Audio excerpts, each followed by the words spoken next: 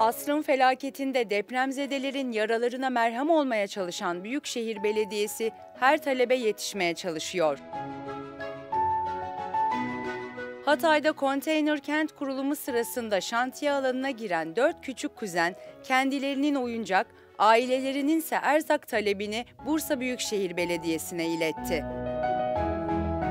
İnci, İrem, Feride Ece ve Naime Nur'un istekleri için harekete geçen ekipler, gece saatlerinde hazırladıkları oyuncak ve yardım paketlerini küçük kuzenlerin kaldığı konteynere yetiştirdi.